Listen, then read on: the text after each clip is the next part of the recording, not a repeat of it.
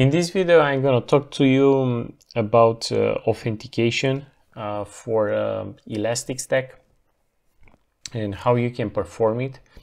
Uh, there is a, a, pack or a package from Elastic, XPack.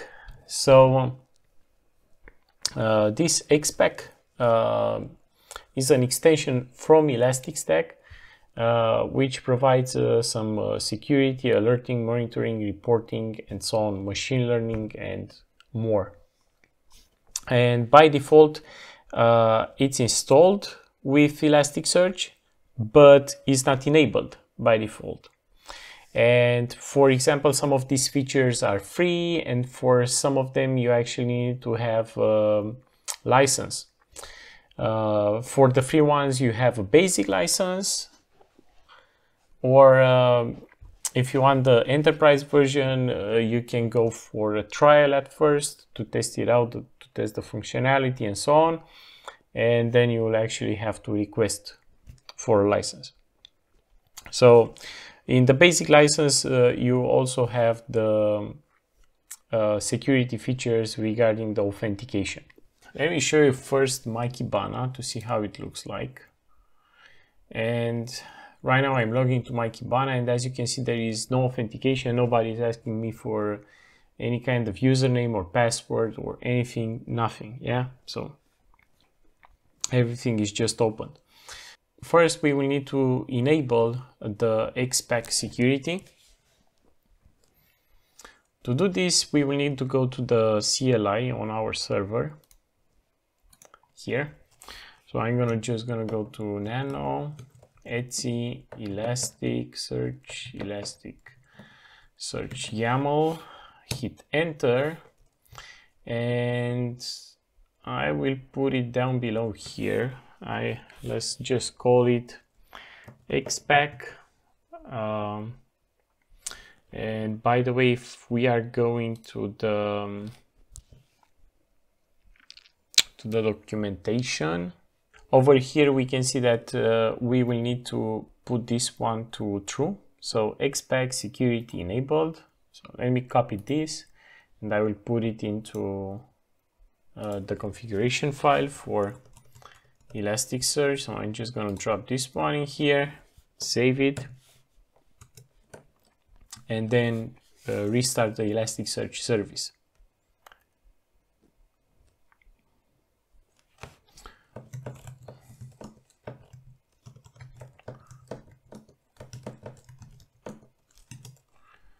Okay, let's just give it a moment. Let's check the status of Elasticsearch.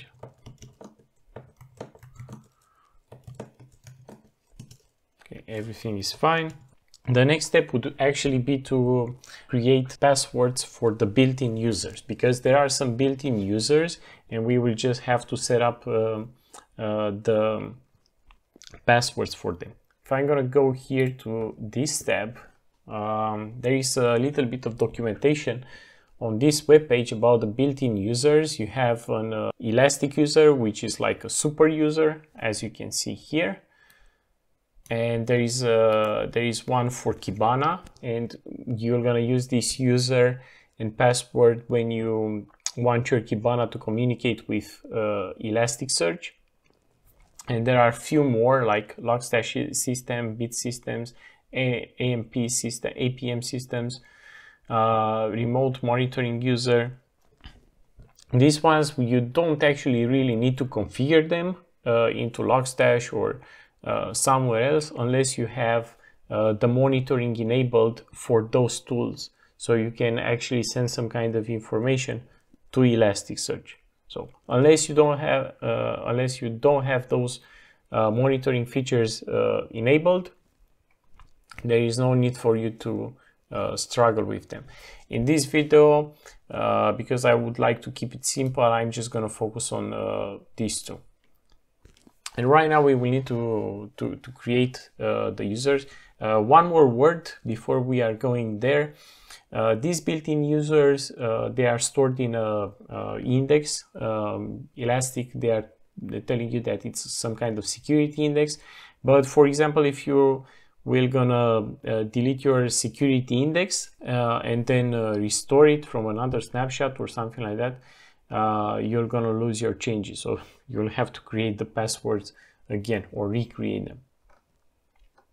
And uh, for example, the, there are two options. You can um, uh, set up these passwords interactively with your input regarding the passwords or for example you can do it automatically and in our case because it's a demo environment uh, we were gonna do everything automatically uh, so we were not gonna lose uh, too much time yeah? So let me go to the CLI now we were gonna go to user share Elasticsearch and uh, we will go to bin folder. And we, here we have a bunch of scripts and we were gonna focus on this one right here. Uh, Elasticsearch setup passwords. We will do it uh, in the following way. Elasticsearch setup passwords and then we can do auto. So you have two options. You can go automatically or uh, interactive. So I'm just gonna go for automatic ones. Right now the passwords for the built-in users will gonna be automatically created. And right now it will gonna ask us to agree with the fact that these passwords will be randomly generated and they will not gonna be chosen by, by us. So we will gonna go with uh, Y here and these passwords uh, are presented to us in this form. I'm just gonna take these passwords and put them in a notepad file yeah. We were gonna have it right here.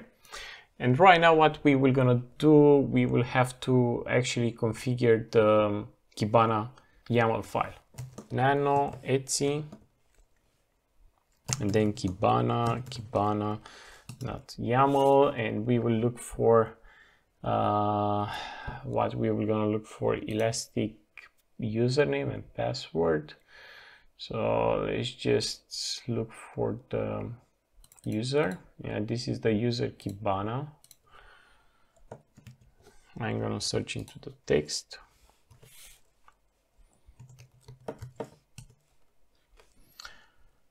Okay. Maybe it's a little bit down below. Uh -huh, okay. So it's right here elasticsearch dot username and elasticsearch.password uh, the user we already have it. And we will just uh, copy this password. And we will paste it in this text file.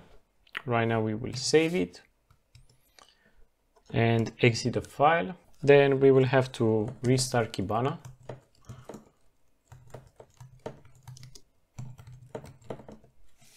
Okay, let's check for the status.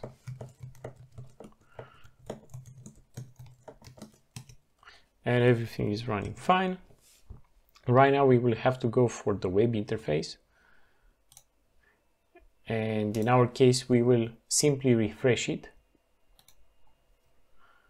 And we should get prompted for a username and password. Now, because uh, we haven't actually created a username or password for this one. There is a built-in one uh, if you remember uh, when we talked um, a little bit earlier about the elastic super user. So in this uh, notepad file we also have the password for the elastic user which is like uh, the super user one. So we were gonna put here elastic and here we will put the password. And we should automatically uh, log in without uh, too much trouble. Right now because uh, there is no other user except the elastic one that can access uh, Kibana via the web interface uh, we can actually create one. So you'll need to go to management and over here, there is a new section which appeared after we enabled the XPack monitoring. Uh, sorry, the XPack um, feature from um, uh, Elastic. And we have um, roles and these are the default roles and we also have uh, users so let's just gonna go to users we already have uh, uh, the built-in users that we talked about it and we were gonna create another one. Let's just call this one let's call it admin. Password put something for the password in here. Right now we will have to confirm the password again. Uh, put some full name I don't know. Just admin and then a mail address admin at bitsbyte.local anything you'd like. Let's just give it some roles. Let's let's give um, uh, some admin roles uh, like Kibana admin and then for example events admin. Uh, roll up admin uh, what, what else we can give here? Um, let's look for something else. Let's do Kibana user. Let's do Kibana system. Yeah. And right now we will just hit on create uh, this is actually the uh, new version on how you can create a user. There was um, where there is actually another method that you can do it via the REST API, but it makes no sense to show you the REST API uh, user creation since uh, this one is so easily to, to, to be uh, handled. We will just open a, a, new window in a new browser. Let's go for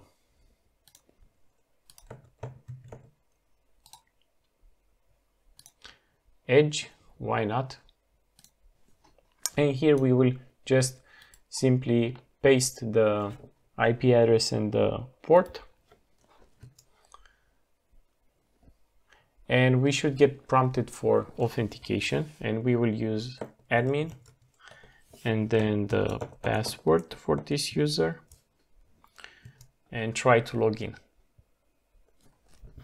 Thanks for watching. If you like the video, hit the like button. Don't forget to subscribe and talk to you guys in the next one.